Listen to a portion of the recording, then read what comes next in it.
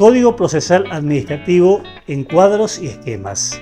Condensa los ejes de la reforma procesal administrativa en la provincia de Corrientes, la cuestión concerniente a su operatividad, a qué procesos será la ley aplicable y, sobre la base de cuadros sintéticos, el funcionamiento de todos sus institutos.